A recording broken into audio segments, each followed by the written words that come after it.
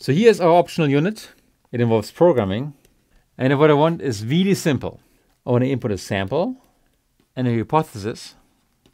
And out should come a simple yes or no, whether it should accept it. So this piece of code should just do it. And for simplicity, I assume 95% confidence and two-sided tests. So here's what I do. I'm going to give you functions you already know. We already programmed the mean function. Here it is again. Notice the use of the word float in case the list doesn't have a float. Happens to be one of these artifacts of type conversions in Python. But never mind. Then we have a variance function that you programmed before. And here's the variance function in a very compact way.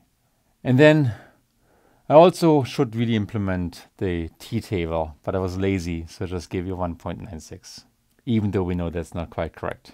And when I give you a list, this was the list of height in my basketball club, and I print the mean, then it's hard to see, but I should indeed get 201.5. Give it a try. And what I want you to implement now is the function conf, which is the plus minus term in the confidence interval below and above the mean.